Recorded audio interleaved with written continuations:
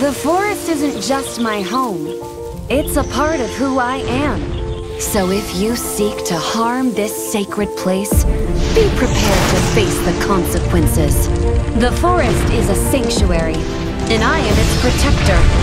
With the power of the Abyssal Lord, I am reborn in fire, stronger than ever before. No force shall harm the forest while I'm still breathing.